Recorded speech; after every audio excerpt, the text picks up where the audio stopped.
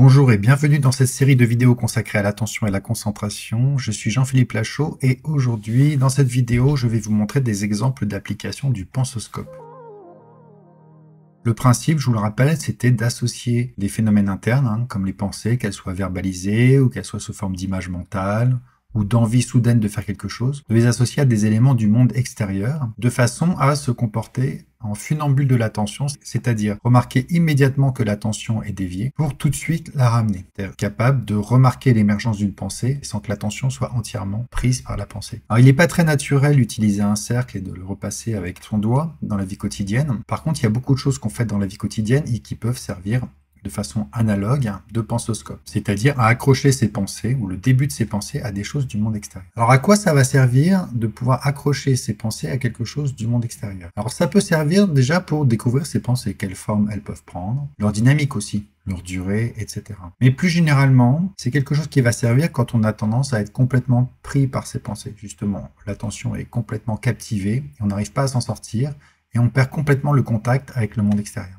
Donc là, ça va être utile d'avoir des petites activités très simples, n'importe lesquelles, qui permettent justement de se positionner en funambule, c'est-à-dire d'observer le début de la pensée et de tout de suite ramener son attention sur ce qu'on cherchait à faire et sur le monde extérieur. Ici, par exemple, je vais faire un thé au miel. Et puis vous allez voir qu'en fait, chacune de mes actions peut être utilisée pour y associer une pensée. J'ai mon bol, j'ai du miel, j'ai la cuillère qui est là, puis j'ai la bouilloire à côté. Ben, je vais faire des petites actions très simples. Et puis tout simplement, je vais me placer exactement dans les mêmes dispositions que j'avais face à ce cercle dont j'allais faire le tour dans la vidéo du pensoscope. Je vais essayer de remarquer si à certains moments je me mets à penser quelque chose, un mot, un élément de phrase que je serais capable de répéter. Donc c'est-à-dire que le type de pensée auquel je vais m'intéresser, ça va être principalement celles qui ont cette dimension verbale. Et bah tout simplement, je commence un geste et c'est juste pour montrer qu'il va être possible de dire à la fin, tiens, bah, j'ai pensé à ça à ce moment-là. Donc on va voir si ça se produit. J'ai évidemment aucun contrôle sur mon processus de pensée, mais il faut juste laisser les choses se dérouler. Je prends la bouilloire.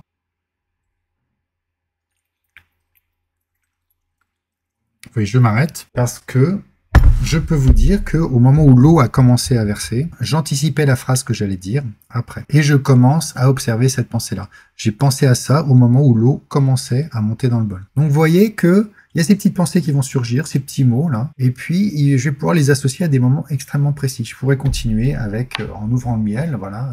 Est-ce que au moment où je touche le pot de miel, ou j'enlève le couvercle, je me mets à penser à certaines choses? On est vraiment dans cette idée de tout de suite associer les petites pensées qu'on a à des choses du monde extérieur. Toujours, toujours cet accrochage qui permet d'éviter à l'attention de se laisser complètement engloutir. Donc voilà, donc avec cette technique, voilà, bah, j'en remarque que j'ai des pensées, mais je ne me laisse pas distraire par elles, je laisse pas mon attention se faire complètement captiver.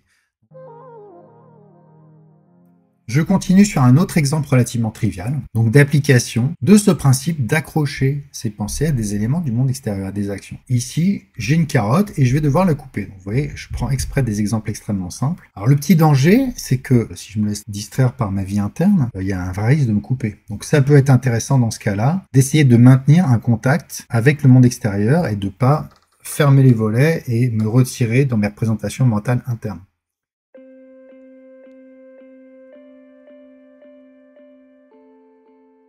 Donc là, je peux simplement, pendant le temps de la découpe, me fixer comme intention de remarquer si à un moment je pense à quelque chose sous la forme d'un mot, mais ça pourrait être une image, ça pourrait être autre chose, un petit phénomène interne que j'identifie bien à l'avance, et eh bien tout simplement, qu'est-ce que j'étais en train de faire, comment était le contact de mon couteau avec la carotte, etc. Donc l'essentiel, c'est d'avoir quelque chose d'extérieur sur lequel on va pouvoir plaquer cette vie mentale interne. Faisons l'expérience, peut-être que je vais pas avoir de pensée, peut-être que si,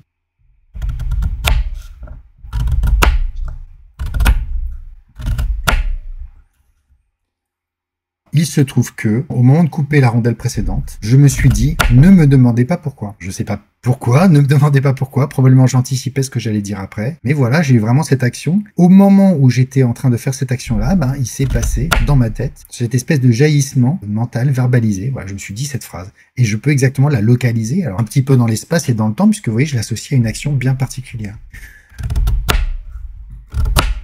Donc voilà, bah, je me suis dit donc voilà au moment où je faisais ça. Bon, ça paraît un jeu relativement trivial, voire euh, complètement stupide ou bizarre, mais quand même, eh ben, en appliquant cette méthode-là, eh bien quand même, mon attention, elle reste sur la carotte. C'est-à-dire que je remarque que j'ai dépensé, mais je me laisse pas aspirer. Donc tout ça pour montrer qu'il est possible d'avoir cette approche-là dans des situations où votre attention pourrait se laisser complètement happer et engloutir par vos pensées pour rester au contact avec le réel. Et là encore, je suis dans une, activité qui demande finalement assez peu de concentration.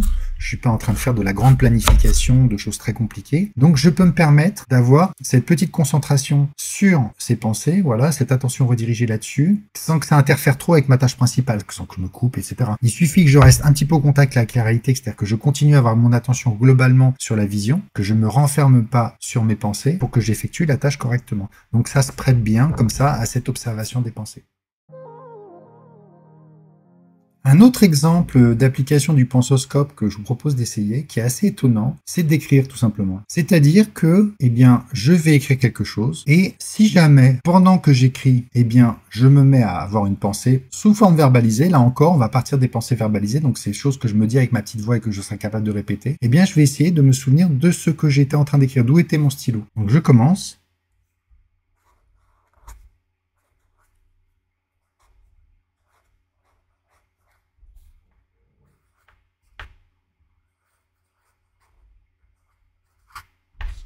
Je m'arrête là. Ce qui est un petit peu étonnant, c'est que si je vous décris ce qui s'est passé en moi, eh bien, c'est que il y avait, de façon prédominante, une prononciation mentale de ce que je m'apprêtais à écrire. Je, typiquement. Non pas toute la phrase, mais au moins le début. Je, puis voilà, à ce moment-là, je, je. Ensuite, je suis sur je vais, je me répétais je vais. Alors non pas VIS, mais j'étais je vais, je vais mais j'ai très bien entendu, un peu en fond, derrière son mental principal, d'autres pensées. Je me disais d'autres choses, voilà, pendant que j'étais là. Et puis ça a recommencé ici. Je peux vous dire que c'était par ici. Là, ça s'amplifiait. D'autres thèmes. Alors, J'étais pas complètement dans quelque chose que je pourrais répéter, mais j'étais clairement dans quelque chose de verbal. Tout ça pour vous montrer que cet exercice est assez étonnant parce que finalement, ça donne accès à cette espèce de bouillonnement mental qui se produit, verbal dans ce cas-là. Ça aurait pu être des petites images qui émergent. J'aurais pu dire que à ce moment-là, ben, j'ai eu telle image qui m'est apparue.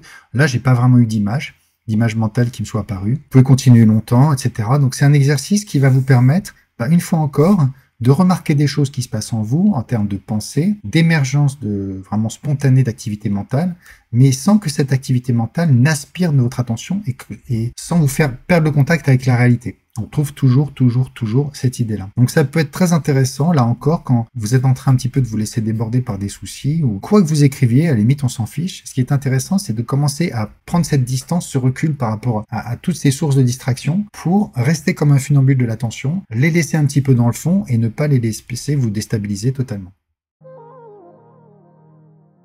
Nouvel exemple d'application du pensoscope qui peut être intéressante lors de la lecture. Alors la situation sera la suivante. Là encore, mettons qu'à ce moment-là, j'ai une vie mentale spontanée extrêmement riche et que bah, j'ai énormément de mal à me concentrer sur ma lecture. Ça peut arriver. Le regard passe sur les mots, mais il se passe rien. vraiment, on n'a pas accès au sens, il n'y a rien du pas de compréhension du texte, pas de mémorisation, etc.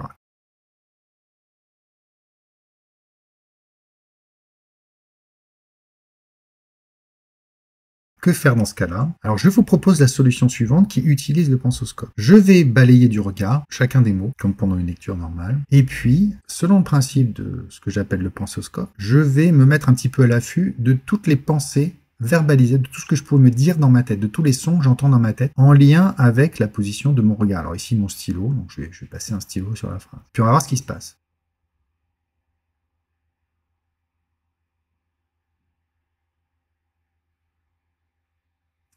Voilà. Alors ce qui s'est passé, c'est que, ben, fort logiquement, à chaque fois que mon regard passait sur un mot, eh bien, je me le prononçais dans ma tête. C'est-à-dire que vraiment, ce que j'entendais, c'était table, furent, ôté, Merlin, se leva, etc. Vous voyez que j'ai pas été très vite. Donc, bah, c'est bien parce que je suis vraiment dans la lecture. Hein. Donc, il y, a, vraiment bah, la petite voix dit un petit peu ce qu'elle doit dire.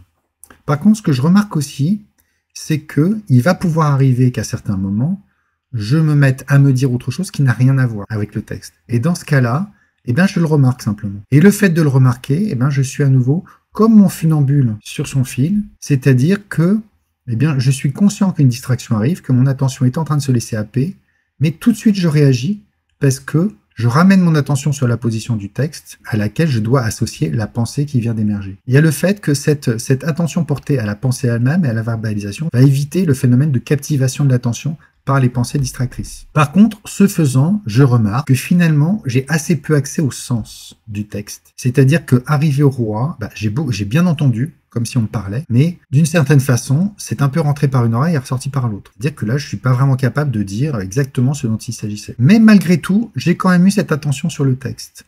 Donc là, il serait assez bienvenu de faire une pause ici, oublier le pensoscope un instant et utiliser un PIM pour convertir sous forme d'image mentale ce que je viens de lire. Je reviens, voilà, se leva, je vois Merlin qui se lève, etc. La permission au roi. Donc je dirais que l'intérêt du pensoscope dans ce cas-là, il est principalement voilà, dans ces situations où bah, je suis incapable d'avancer parce que je pense à plein de choses. Par exemple, que ce texte m'ennuie profondément, que j'ai pas du tout envie de le lire, que je serais mieux à faire autre chose.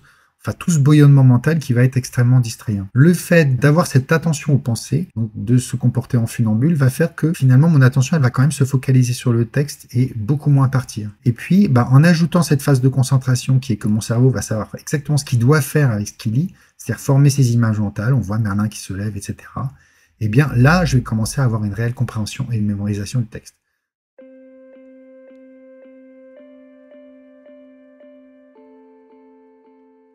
Donc dans ce cas-là, ce qui est efficace, c'est cette combinaison entre le pensoscope et puis le PIM de lecture, conversion sous forme d'image mentale avec une manière d'agir mentale. Donc je vous encourage à essayer, voir si ça fonctionne pour vous. Mais une fois encore, le, pensoscope peut être utilisé bien en dehors de son cadre de définition, qui est de faire le tour d'un cercle avec le doigt pour arriver à vraiment des situations de la vie quotidienne ou scolaire ou professionnelle qui sont réellement utiles. Alors j'ai eu le témoignage d'une professeure de français qui faisait lire des textes comme ça à ses élèves et qui leur demandait, avec la technique du pensoscope, de souligner après coup hein, où s'étaient produits des pensées en rapport avec le texte ou sans rapport avec le texte. De façon à ce qu'au fur et à mesure de la lecture, de la répétition de ce type d'exercice, il y a de plus en plus de pensées en lien avec le texte et de moins en moins de pensées en décalage avec le texte.